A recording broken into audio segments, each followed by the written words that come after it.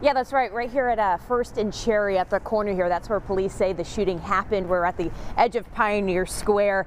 Now, this happened around 10:50, and that's when the Sounders game was letting out. It was a pretty late game last night. Again, the streets were pretty crowded as this all broke out. Now, this is video from last night. This morning, we just don't have that many details about this, but what we do know is that one man was taken to Harborview with life-threatening injuries. Witnesses also tell police that the suspect did run away after opening fire. Now, right now, we do not have a description of that suspect, um, and we are waiting for more information from police on this shooting, but we will bring that to you as soon as it becomes available to us. For now, live in Pioneer Square, Vanessa Misciagna, King 5 News.